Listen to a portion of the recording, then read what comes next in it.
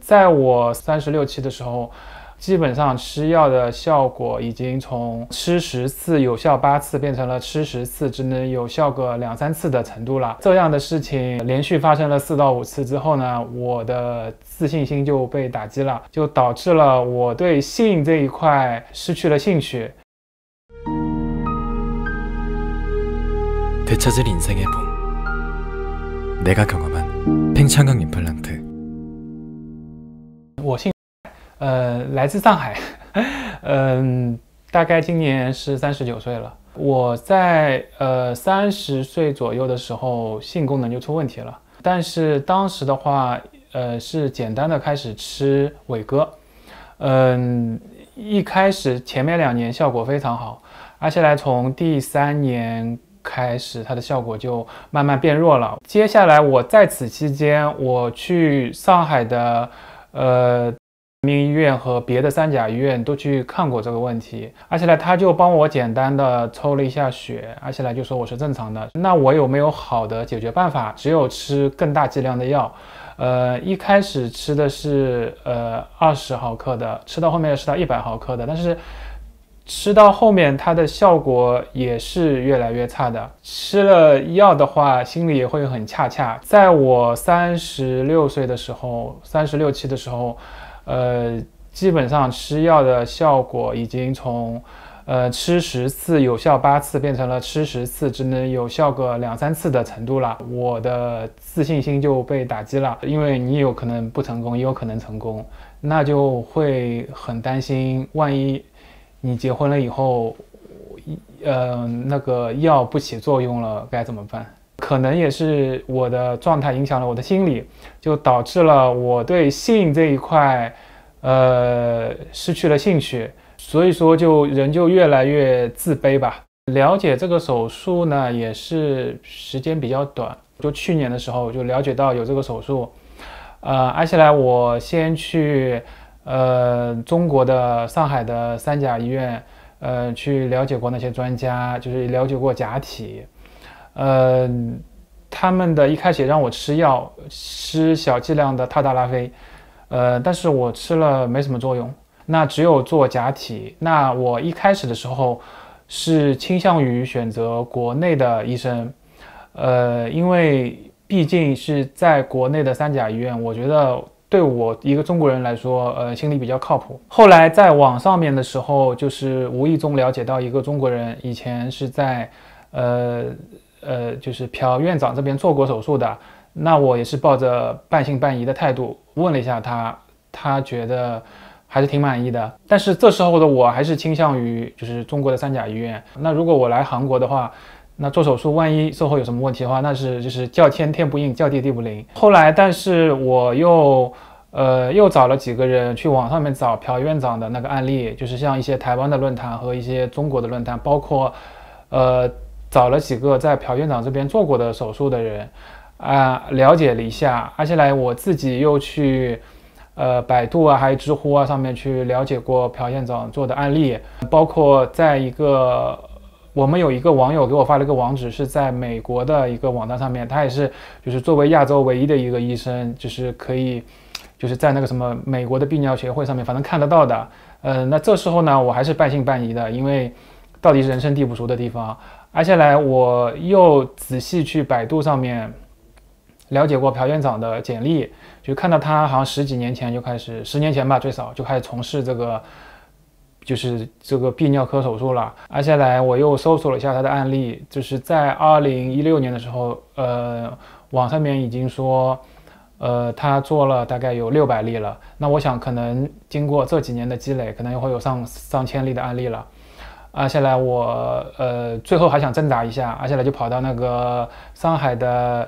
医院，是应该是上海男科比较有名的，而且来花两百块钱去挂了个专家号。而且来也问了那个专家，可能就问了他一些问题，因为在我们中国我也了解过，是只有 AMS 的，呃，就是可能韩国这边的话，它的型号会比较多，而且他那个医生说做了肯定会变短，呃，而且我问了问他的案例是多少，他是从一八年开始做的，一八年做了几十个，一九年、二零年他说每年就几十个，算起来有两百个。挨下来，但是就是我觉得他说话的神情呢，就是有点虚，可能真实的案例也可能就一百多个吧。呃，那我就是对比了一下，我觉得这时候就下定决心要跑到朴院长这边来做手术。做手术之前，我还是就是有一种很害怕的心理，就是很恰恰的心理，就想跑路的感觉，因为人生地不熟的。嗯，可能但是做了手术的过程当中，就是给我感受最深的。就是培养的技术水平。我做好手术的话，因为也有很多中国患者就是在网上面问我，听说这个这个医生水平怎么样？你感觉怎么样？因为呃，中国有很多患者想过来，但是呃，说一句实话，就是他们会觉得呃心里放不下。那我和他们说过了，我说我不是一个很懂技术的人，呃，但是因为我当时做手术的时候是局麻。呃，在朴院长做手术的时候，我虽然是呃没有感觉，可能说只有一点的感觉，但是我觉得朴院长的技术还是不错的。为什么这么说呢？是因为朴院长做手术的时候，他所有的动作，呃，只做一遍就可以结束了。呃，就是给我的感觉就是他的熟练度非常高，包括缝线在内。所以说当时做好手术的时候，我就觉得。呃，有点安心了，因为不像很多医生，像就是以前做手术，我做过别的手术的时候，别的医生可能就手忙脚乱的比较多，可能朴院长他可能只专门做这一种手术，那就